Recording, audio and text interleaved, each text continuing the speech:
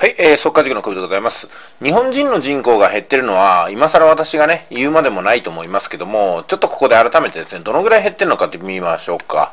ここの方を見ていただくと、ダンと赤くしますよ。で、さらに二重で赤に囲いますけども、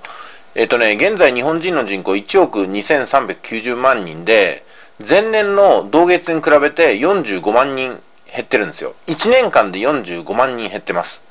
ね。こう言うと、なんか 1, 1年間で45万人確かに減ってるけど、それってどういうことなのっていうふうなことがね、分かりにくいと思いますけども、まあ人口が減ってるということで言ったら、この表を見てください。えっ、ー、とね、日本の人口推移がこうね、1910年から2015年までバーっと一覧で書かれています。えー、1910年って5000万人ぐらいしか人がいなかったんですよね。うん。で、それから現在は1億2700万人というふうな数になってきますよね。じゃあ、ここでですね、一部だけクローズアップしてみますね。これ見てください。もう数字だいぶ出てますけども、1940年、昭和15年から昭和20年、終戦の年まで、え人口の推移って人口減ってますよね。えー、っとね、どのぐらい減ってるかと言いますと、100万人ぐらい減ってるんですよ。昭和15年に7300万人いた人が、どんどんどんどん戦争で人が取られたりとかね、で、空襲でお亡くなりになったりとかして、昭和20年戦争が終わって、ああ、もう人は死ななくて済むぞっていう時に、まで、この5年間で100万人お亡くなりになってるんですよ。ということは、1年間で平均20万人死亡してるわけなんですよね。えー、昭和15年から20年のこの5年間で、ね、第二次世界大戦みたいなね、悲惨な時代がありましたけども、そんなね、人類が一番大量に人間が死にましたっていう時期、そして日本っていうのはこの時、世界中をね、敵国として世界に対して戦ってたわけですよ。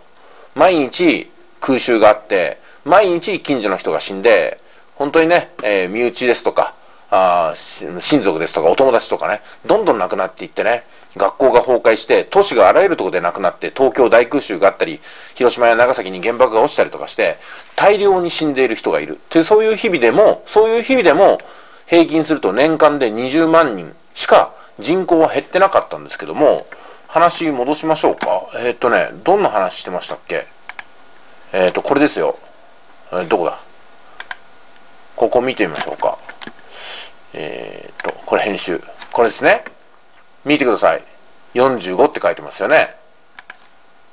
1年間で45万人減ってるっていう事実があります。要するに戦時下の倍です。どうですか？空襲があったり、原爆が落ちたり、それからね、えー、召集令状赤紙が来て、戦、あの、兵隊さんが、兵隊さんっていうか普通の人が兵隊さんとしてね、どんどんどんどん南方戦線に送られたりとかして、みるみる私たちの周りで若い男性がいなくなっていく。若い女性も苦労していると。いう中でですね、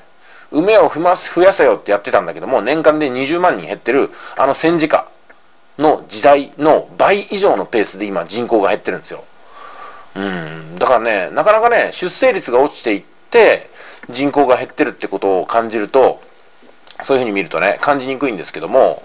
あの苛烈なね、毎晩のように空襲があって、空襲警報発令とかね、赤紙が来て、おめでとうございますとか言ったりとかね、悲惨なあ空襲が夜な夜なあったりとかね、防空壕に入ったりとかする中で、日々知り合いの方がどんどん亡くなっていく中で、お亡くなりになっている人数が、年間で平均20万人というこの5年間、ね、昭和15年から20年の平均20万人の人口の減少と、現在の平和なように見えて、45万人以上、ね、人口が減っているという現象。これ恐ろしくないですか？私はね、すごく恐ろしいなと思ったんですよ。第二次世界大戦の倍のペースで人が死んでいる、人が減っているっていうのと同じって考えると、いや、怖いなと思います。そしてちょっとね、見方を変えてみましょうか。えー、っと、人が生まれないことによって、どういうことが起きるかっていうと、まあ、本来ね、人が、もしね、A さんと B さんっていう人が生まれてきた世界と生まれてない世界っていうのを想像してみましょうか。A さんと B さんが生まれてきたら、その A さんと B さんが新しい家族を作ってさらに人を増やす可能性がありますよね。でも A さんと B さんが生まれてなかったら、人が増える可能性はない。プラス A さんと B さんっていう最初の初期人数が減ってますよね。ということで、無限のダメージなんですよ。45万人の人が減っているってことは、全く人口が減らなかったのと比べると、45万人の初期損失が出てるわけですよね。損失って言い方は人間に対してあんまり良くないと思いますけども、45万人がいない世界と45万人がいる世界を比べてみると、その先の可能性もとてつもなく広がってくるわけですよね。うん、そう考えると現象としては怖いなと思います。だからどうするんだって話になりますよね。だからどうすればいいんでしょうか。それは私もわかりません。個人の力でできることと、みんなが力を合わせてやっていくことっていうのがあるんですけども、ここからね、いつもお話しすることなんですけども、権力を持ってる方、お金を持ってる方、うん、そういう方ってのは団結するのが得意なんですよ。そして行動が早いんですよ。でも権力がない方、お金がない方、ね、うん、団結あまりしないんですよね。むしろ足を引っ張ったり、うん、石を投げ合ってるんですよね。うん、で、行動力もないと。ここにね、なんか突破口があるんじゃないかなと思うんですよ。今二極化と言われてもう久しいわけなんですけども豊かな人はその豊かさを子供にも相続させるということがあります。でも残念ながら豊かじゃない方っていうのは、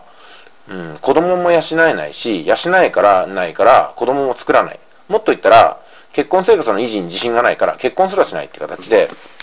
うん、どんどんねあの苦しくなっていって突破口がなくなっていってるんではないかなと思うんですよ。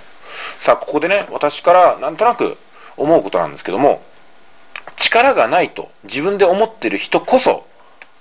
周りの人と協力すればいいんじゃないかなと思うんですよ。そして力がないと思ってる人こそすぐに行動した方がいいと思うんですよ、うん、ここら辺はですね既得権益者とか大金持ちとか資産家を学んでいったらいいんじゃないかなと思うんですけども皆さんいかがお感じでしょうか？あ今回は以上でございます。